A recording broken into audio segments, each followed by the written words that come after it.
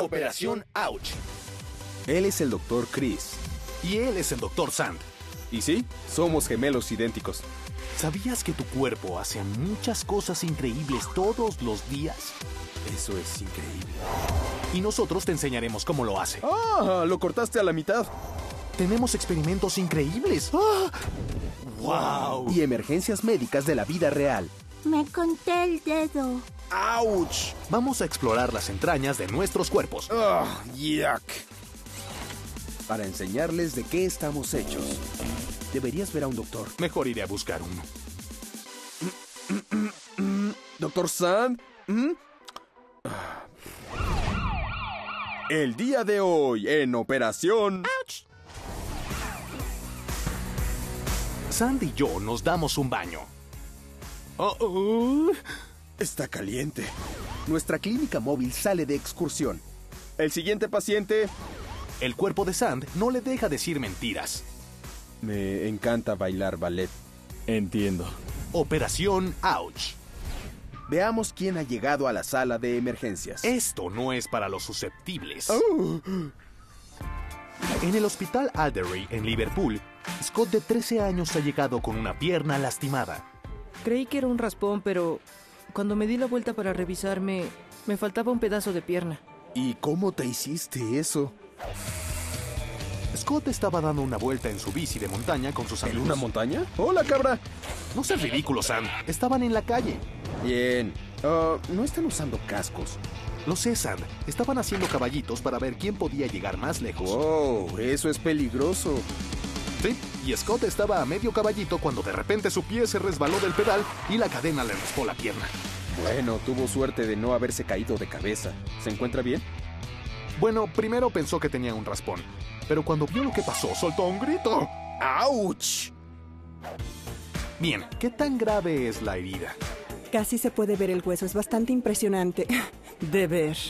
Uy, suena muy grave. Vamos a verla. Muy bien, Sand. Si son delicados, volteen hacia otro lado. Es una gran cortada. Debe dolerle. Ahora hay que sacarle unas radiografías a Scott para revisar sus huesos. Tiene un hoyo muy grande ahí, pero afortunadamente nada se rompió. Lo que nos preocupa es que se haya dañado el tendón. Los tendones son lo que mantienen los músculos unidos al hueso y si se dañan, podrían afectar el movimiento en el pie de Scott. Para revisar los daños está el doctor Ankur Sinha. ¿Podrías mover los dedos un poco, por favor? Se están moviendo. Esas son buenas noticias. ¿Y ahora puedes mover el pie? El movimiento de su pie sugiere que los tendones están intactos, ah, pero no podemos estar seguros porque si están parcialmente rasgados, eso necesitaría repararse. Es lo que me preocupa en este momento. Haremos que se sienta cómodo y luego esperaremos un poco para llevarlo al quirófano. Está bien, ¿Bien? sí. Entonces van a operar a Scott para arreglarle el hoyo que tiene en la pierna y asegurarse que no tenga ningún daño grave. Veremos cómo le va más adelante. Operación. Ahora vamos a nuestro laboratorio, donde realizaremos increíbles experimentos. ¡Auch! Pero no intenten hacer nada de esto en casa. Como pueden ver, Chris está en una bicicleta fija. Esto no es una bicicleta, es como un monociclo, ni siquiera tiene manubrio, es extremadamente incómoda. Shh, esto es ciencia. La razón por la que Chris está en la bicicleta es porque quiero ver si puede calentar este vaso con agua a 37 grados Celsius. Creo que me tocó la peor parte. Mi bicicleta está generando electricidad para calentar el agua en el vaso de precipitación. ¿Necesitas un descanso, Chris? Ay, sí, gracias. Pues no puedes, deprisa. Sigue pedaleando. 35, 35 y medio, 36, 36.5, 37. Perfecto, ya puedes parar. Ay, te pasaste de fuerza, subió a 38. Perdón, voy a tener que agregar un montón de hielo y volveremos a empezar, así que está bien, sigue pedaleando. Verás, 37 grados no es cualquier temperatura que escogimos al azar, es la temperatura del núcleo de su cuerpo, que es esta parte de aquí donde se encuentran todos sus órganos Oye, internos. ¿no tenías que picarme? Tus órganos trabajan mejor a 37 grados y por eso tu cuerpo intenta mantenerlos exactamente a esa temperatura. ¿Sabes qué? Ya fue suficiente. Creo que he demostrado que mantener tu cuerpo a una temperatura estable cuesta mucho trabajo, pero tu cuerpo es increíble y hace esto a diario sin que te des cuenta y sin importar lo que hagas, y se los demostraremos. El día de hoy tendremos una batalla con nuestros cuerpos para ver si podemos cambiar nuestra temperatura núcleo. Es momento de ver a Chris y a Sand contra su temperatura núcleo. Gran nombre, Sand. Gracias. Recuerden, nosotros podemos hacer este experimento porque somos doctores y lo estamos haciendo en un ambiente controlado. Para esta batalla, Sand se va a sentar en un baño súper caliente durante 10 minutos. Y Chris se va a sentar en un baño helado durante 10 minutos. Él se va a estar congelando y yo voy a estar asándome. ¿Pero afectará nuestra temperatura núcleo? Vamos a averiguarlo. Para eso, yo seré el capitán criogénico. Y yo voy a ser... El doctor Quemazón. ¿Doctor Quemazón? ¿Es lo mejor que se te ocurrió? Creo que es un excelente nombre para un superhéroe con supertemperatura núcleo. Ni que capitán criogénico fuera tan original. Bueno, para empezar, las palabras capitán y criogénico empiezan con la misma letra. De acuerdo, estamos listos para iniciar. Es momento de poner a prueba nuestra temperatura corporal. ¡Que comience la batalla! Y Chris se mete a su helada alberca. Mientras Sand se da un baño muy caliente. Está caliente. Ya nos hemos tomado la temperatura corporal y los dos marcamos 37.1 grados Celsius. Para hacer este experimento con propiedad, hemos colocado termómetros especiales exageradamente precisos en nuestros cuerpos. ¿Saben dónde están? Están en A, nuestras axilas, B, nuestro estómago, o C, nuestra parte trasera. El resultado es C. Pero no se preocupen, los vamos a sacar de ahí en cuanto terminemos. No lo olviden, nosotros podemos hacerlo porque somos doctores. Lo único que nos queda por hacer es esperar a que nuestros cuerpos sientan los efectos de las diferentes temperaturas. Sand, tu cara está completamente roja. Pueden ver que estoy sudando. Eso es bueno porque significa que mi cuerpo se está calentando, pero también significa que mi cuerpo está luchando por dentro. El sudor se evapora, llevándose al calor con él. Ahora siento mucho frío, pero estoy temblando, y eso es un reflejo que el cuerpo utiliza para moverse y generar calor. Así que mi cuerpo también lucha por dentro. Ya han pasado 10 minutos. Es momento de averiguar si logramos derrotar a la temperatura núcleo de nuestros cuerpos. Gracias a esta cámara de imagen térmica podemos ver lo caliente que está el exterior del cuerpo de Sand, y eso se debe a que toda su sangre se ha movido a su piel para enfriarlo. Y en el cuerpo de Chris, el exterior es azul y frío. Esto se debe a que su sangre se ha ido a sus órganos vitales para mantenerlos calientes. Pero la verdadera pregunta es, ¿he podido vencer a mi cuerpo bajando mi temperatura núcleo a menos de 37.7 grados? ¿Y si yo he logrado subir mi temperatura núcleo por arriba de los 37.7 grados? ¿Qué? ¿38.4? ¿Cómo es que se calentó más? Mi cuerpo es tan bueno luchando contra el frío que hizo que mi temperatura subiera. Bueno, fracasé al intentar vencer la temperatura núcleo de mi cuerpo. Pero veamos cómo le fue a Sand. Chris, esa fue una dolorosa derrota. Espero que a mí me vaya mejor. 38.1. He vencido mi temperatura corporal por cuatro décimas de grado. Eso no es mucho en realidad. Mi cuerpo también hizo un gran trabajo manteniéndose más frío que el agua del baño, haciéndome sudar y poniéndome rojo. Sin importar tu entorno, tu cuerpo es muy bueno manteniendo tu temperatura núcleo a un nivel ideal de 37 grados Celsius. Chris, estuve pensando en otro nombre en vez de Doctor Quemazón. ¿Qué tal quien sea quemado? Sí, Sand, esa es una gran idea. Creo que deberías planear ese disfraz inmediatamente. ¡Qué gran idea! Voy a ir a hacerlo. ¡Qué gran idea! Ahora iremos de excursión en nuestra clínica móvil, Clínica Ouch. Hoy hemos venido al parque de diversiones a resolver todas tus preguntas médicas. Si estás ansioso por una enfermedad o tienes curiosidad de una condición, entonces el Ouch móvil es para ti. Eso es increíble. Sand está dejando la clínica lista para el primer paciente. Y Chris está en el parque listo para contestar todas sus preguntas. Estamos listos para recibir pacientes. ¿Qué pasa el siguiente paciente? La primer paciente es Anastasia y tiene algo que debe mirar a cada hora. Muy bien, Anastasia, que te trae al Ouch móvil el día de Tengo hoy. algo extraño escondido debajo de mi reloj. Bien, ¿cuál es el diagnóstico, Doc? Suena como un caso de tengo algo extraño escondido debajo de mi relojitis. Eso es exactamente lo que iba a decir. Echemos un vistazo. Ah, eso es genial. Esto es lo que un doctor llamaría un nebus melanocítico puesto. Es un lunar. Lo que vemos aquí es un lunar típico. Es uno muy grande, pero tiene bordes irregulares. Es un pedazo de piel más oscuro que la piel que le rodea y está un poco elevado. Pero fuera de eso parece un lunar muy típico. ¿Cómo puedo saber si es peligroso? Algunas veces los lunares pueden causar problemas. Debes estar atenta por si cambia de forma o de tamaño, o si cambia de color, si te da comezón o empieza a sangrar. Si ves cualquiera de estos cambios, ve con tu médico y que le eche un vistazo. Gracias por responder a mis preguntas, Dr. Sand. Lejos de la clínica, Chris está de excursión en el parque para responder todas sus preguntas médicas. Doctor Chris, ¿por qué se te duerme la pierna cuando te pones en una posición extraña? Cuando estás en una posición extraña, ya sea con tu pierna o tu brazo, lo que pasa es que no dejas que la sangre circule correctamente. Y en ocasiones sucede que la pierna o el brazo no puede sentir nada y se duerme al instante. Y cuando la sangre y el oxígeno regresan a los nervios, se despiertan y empiezan a mandar todo tipo de señales raras a tu cerebro y se siente como si te estuvieran picando con un alfiler. ¿Por qué te duele el estómago al correr? Te habrás dado cuenta que te duele más si corres después de comer y eso se debe a que cuando corres quieres mandar toda la sangre que tienes a tus músculos para que puedan trabajar. Eso te quita toda la sangre del estómago. Y si comiste algo, tu estómago está tratando de digerirlo y si le falta más sangre, entonces te empieza a doler y es su forma de quejarse porque quieren más sangre. Si corres con el estómago vacío y calientas muy bien, no sentirás dolor. De regreso a la clínica, tenemos una cara conocida en la sala de espera. Siguiente paciente, por favor. Ah, eres tú otra vez, Anastasia. Hola. Sí, ha regresado por más. Anastasia, ¿por qué estás de vuelta? Mis amigos en la escuela tienen el ombligo hacia adentro, pero el mío está hacia afuera. ¿Cuál es el diagnóstico, Doc?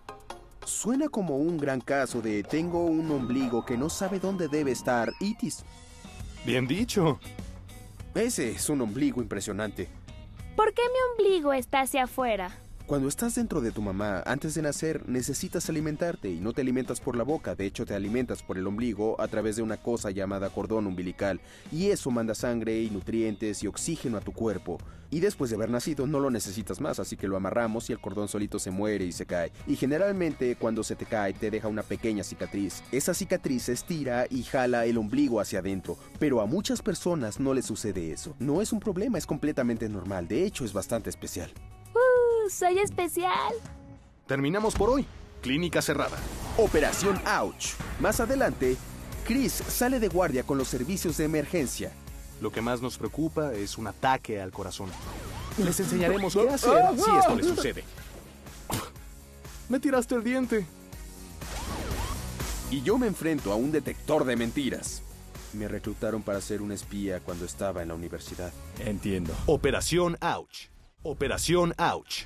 ¿Recuerdan a Scott y la terrible cortada en su pierna? Bueno, veamos cómo sigue. Y esto no es para los susceptibles. De regreso en Liverpool, Scott ha pasado la noche con su pierna lastimada. Scott estaba en su bicicleta de montaña haciendo una competencia de caballitos con sus amigos. Ah, no están usando cascos. No sé, Sam. De repente, su pie se resbaló del pedal. ¡Oh, ten cuidado! Al principio creyó que era un raspón, pero cuando vio lo que había pasado, gritó. ¡Auch! Aún me duele, pero está mucho mejor que ayer. Tal vez no le duela tanto como ayer, pero a Scott tienen que hacerle una operación para arreglarle la herida. Así que le damos un poco de anestesia y ponemos a Scott a dormir. Ahí está, gracias. Es momento de la cirugía. Unos toques finales y... Vamos a darle una lavada para ver qué tenemos aquí. El conductor del camión hoy es el cirujano Ravi Batch. Primero, el doctor Batch tiene que cortar todo el tejido sucio y contaminado de la orilla de la herida. Después le dan una buena limpieza para evitar que se infecte y ayudarla a sanar. Y ahora es momento de coser. Si eres delicado, voltea hacia otro lado ahora. ¿Listo? ¿Ya quedó? Gran trabajo, doctor. Bien hecho. Fue muy afortunado de no hacerse ningún daño en los nervios ni en los vasos sanguíneos que corren detrás de su pierna. Él solo tuvo una minúscula herida. Poco tiempo después, Scott puede ponerse de pie y está listo para regresar a su hobby favorito, el box. Adiós, Scott. Adiós. Operación. Las salas de emergencia no son los únicos que tienen que lidiar con lo inesperado. Así es, Chris. Por todo el Reino Unido hay expertos listos para la acción. Vamos a acompañar a los servicios de emergencia. Si tienes un accidente, un servicio de emergencia como este está listo para ayudarte. Llamados de emergencia. Los paramédicos usan estos vehículos con tecnología de punta para llegar a una emergencia en minutos, y hoy los acompañaré para ver cómo se siente ser el primero en la escena. Este servicio médico de respuesta rápida está listo para ayudarte las 24 horas del día.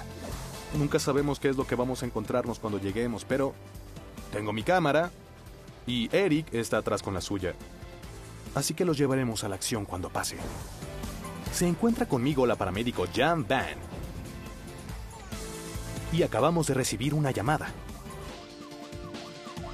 Acabamos de recibir informaciones. Una señora de 40 años tiene dolor en el pecho y en la espalda. Lo que más nos preocupa ahora es un ataque al corazón. Jan toma su equipo y entra a la casa. ¿Qué está sucediendo, Tania? Ay, Dios. Piedras de la vesícula. Es el mismo, ¿El mismo dolor. dolor que tenías antes? El mismo dolor. Vamos a darte un poco de anestesia para que te sientas cómoda. Tania está sufriendo mucho, así que Jan le da un poco de anestesia para ayudarla. Pero no parece que el problema sea su corazón y tal vez esté relacionado con un problema anterior. Tania tenía piedras en la vesícula, que son formaciones que salen en la vesícula biliar, y la vesícula emana una sustancia en los intestinos que te ayuda a digerir la comida, y si se bloquea con piedras, entonces puede causarte un intenso dolor. La única diferencia es que también lo siento en mis hombros. Y esta vez se siente un poco distinto a su dolor en la vesícula. Y el electrocardiograma confirma que su corazón está bien. La ambulancia está en camino, ¿está bien? Van a tener que revisarle este nuevo dolor a Tania en el hospital. Mientras esperamos la ambulancia, te pondré más cómoda. Debido a que se encuentra muy incómoda, Jan decide poner los analgésicos directamente en su flujo sanguíneo. Esto comenzará a hacer efecto pronto. Al final es capaz de salir a la ambulancia por sí sola, con el dolor bajo control. El mayor problema de Tania era que tenía mucho dolor. Por suerte, Jan llegó y pudo cerciorarse que no fuera su corazón. Ahora va al hospital donde seguramente encontrarán la razón por la que se siente así. Y si alguna vez tienes una emergencia, hay cientos de vehículos similares alrededor del país listos para ayudar. Si no pueden curarte en el momento, te llevarán directo al hospital para darte más tratamiento. Operación ¿Sabían que los dientes son tan únicos como las huellas digitales? Hasta los dientes de los gemelos son diferentes. Así que cuídense los dientes. Primeros auxilios. No sé ustedes, pero el Dr. Sand se vuelve completamente loco si no puede hacer ejercicio. Por suerte, es posible hacer ejercicio aún en espacios pequeños. Pero no lo olviden, hasta el patio de su casa puede ser un lugar peligroso. Peligro. Bueno, estoy seguro que no tengo que decirles lo que podría salir mal aquí. Digo, Sam podría caer y romperse la pierna. No lo creo, Chris. Bueno, podrías tropezarte y torcerte el tobillo. No, eso no va a pasar, Chris. Bueno, podrías caer y lastimarte la muñeca. Chris, soy muy bueno haciendo esto. ¿Ah? ¿Ah? ¡Ah! Te lo dije, Chris, no me lastimé. Yo sí. Me tiraste el diente. Oh, oh, parece que alguien está herido. Primeros auxilios. Bien, ¿qué deben hacer si se les cae un diente? A. Ponerse un parche en el ojo y entrar a una competencia de piratas. B. Hablarle al ratón de los dientes para que les ayude. O C. Detener el sangrado y poner el diente en un vaso de leche. Lo adivinaron. La respuesta correcta es C. Detener el sangrado y poner el diente en un vaso de leche. Y aquí les decimos cómo. Ah, ¡Mi diente! Bien, lo primero que debemos hacer es detener el sangrado en tu boca. Mm. ¿Alguien tiene una toalla que pueda usar? Doctor Sand, yo tengo una toalla. Muchas gracias. Pongan la toalla en la herida y apliquen presión para detener el sangrado. Ya detuvimos el sangrado en la boca del Dr. Chris. Ahora podemos recoger el diente. Aquí está. Si tan solo tuviera un vaso de leche, podría meterlo. Cuando ponen el diente en leche, ayuda a mantener el diente con vida. Eso significa una mayor probabilidad de que el dentista pueda volverlo a poner. Ahora que tengo el diente en la leche, puedo llevar al Dr. Chris al dentista. Recuerden, solo tienen que hacer esto si es un diente adulto. Ahora les toca a ellos resolver la emergencia con el diente de mentiras. ¡Oh, mi diente! Recuerden, les estamos enseñando qué hacer en una emergencia. Nunca hagan esto solos, a menos que sea una emergencia y busquen a un adulto. Aquí hay una toalla para detener el sangrado. Utilícenla para aplicar presión justo sobre la herida. Ahora tenemos que encontrar el diente y ponerlo en un vaso de leche. Por suerte, tengo un vaso de leche aquí. Bien hecho, Jennifer. Bien, si se les cae un diente, detengan el sangrado, pongan el diente en un vaso de leche y vayan con el dentista. Pero siempre traten de encontrar a un adulto antes. Ten mucho cuidado, Chris. No te preocupes, Sam. Lo tengo bajo control. Ay, no me hice ningún daño. ¡Auch! Operación. Operación. Sand, ¿quién se comió mi tarta? Ah, no sé de qué tarta hablas. Ya no estaba cuando llegué. ¿Un pájaro se la comió o un humano? Un pájaro humano. Un pájaro humano lo hizo. Sand, si vas a decir mentiras, tienes que aprender a esconder la evidencia mucho mejor. Pensándolo bien, creo que puedo ayudarte con eso. ¿Más tarta? No, Sand, es momento de investigación. ¡Ouch! Investigación Ouch. Adelante, doctor Sand, adelante. Habla el doctor Chris. Cambio. Adelante, doctor Sand, ¿me escucha? Habla el doctor Chris. Cambio. Sand, soy Chris. Oye, estoy aquí abajo. Hola. Sí, así está mejor. Escucha, Operación Ouch tiene una misión especial para ti. ¿De acuerdo? ¿Quieres que sea como James Bond o algo? Exacto. Tú vas a ser el agente Operación Ouch 7. Y como todos los espías, trabajarás encubierto y convencerás a la gente que eres algo que no eres. ¿Entonces quieres que diga mentiras? Sí, pero estas no son mentiras ordinarias, porque vas a enfrentarte a un nuevo detector de mentiras. Mandé a Sand a la Universidad de Bradford para ver si puede ocultar sus mentiras de este nuevo detector de mentiras. Bueno, para ser sincero, no es bueno decir mentiras, pero este es un experimento científico. Sand se va a enfrentar a un maestro en detector de mentiras, pero no en decirlas, el profesor Hassan Ugail. El detector de mentiras utiliza cámaras para examinar los rostros de las personas cuando hablan. Gracias a que tu cuerpo tiene algunos ademanes cuando mientes, el detector de mentiras puede decir por las caras que pones si estás diciendo la verdad o no. Me pregunto si mi lenguaje corporal me va a delatar, pero primero tienen que grabar mis expresiones faciales para ver cómo se comporta mi cuerpo cuando digo la verdad. Así que el profesor Hassan sabe que todo lo que estoy diciendo ahora es verdad. Muy bien, profesor Hassan, estoy listo. ¿Cómo te llamas? Alexander Van Tolken. ¿Cuál es el nombre de tu hermano gemelo? Christopher Van Tolken. Unas cuantas respuestas honestas más y esta parte habrá terminado. El detector de mentiras ahora sabe lo que hace mi rostro cuando digo la verdad. Ahora necesito hacer la misma cara cuando diga mentiras. A partir de ahora, el profesor Hassan y su detector de mentiras no sabrán si estoy mintiendo o diciendo la verdad. Ustedes en casa lo sabrán por estas ¿Verdad? marcas. Mentira. Bien, veamos si puedo confundir al detector con mi rostro. Puedo hablar cinco idiomas. Ah, es que se mama así. Mentira. Bien, Trabajé en una tienda de mascotas vendiendo collares. ¿Verdad? qué bien. Me reclutaron para ser espía cuando estaba en la universidad. Mentira. Entiendo. Yo solía remar, remar en bote. ¿Verdad? De acuerdo. Ah, me gusta bailar ballet. Mentira. Entiendo. He viajado a muchos países. ¿Verdad? Gracias, es todo. Bueno, creo que no estuvo tan mal. Creo que lo engañé. Aquí tenemos los resultados. De hecho, creo que dijiste bastantes mentiras en el interrogatorio. Nuestros resultados dicen que mentiste cerca del 50%. Eso parece correcto.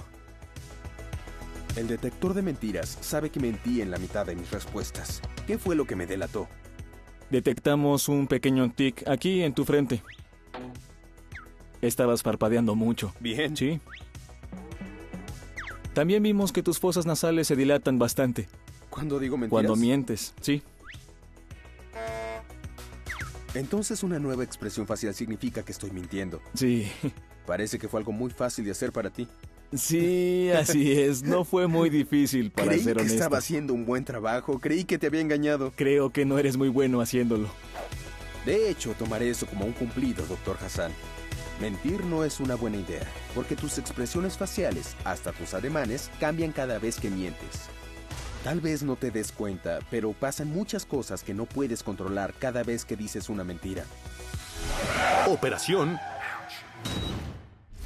Ya estamos de vuelta a la sala de emergencias. Para otro caso curioso.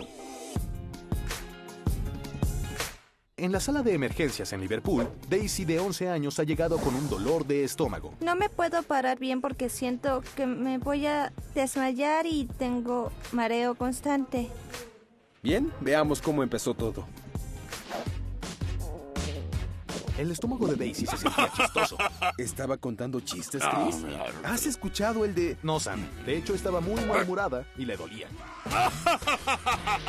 No pudo ir a la escuela. No pudo ir a clase de gimnasia.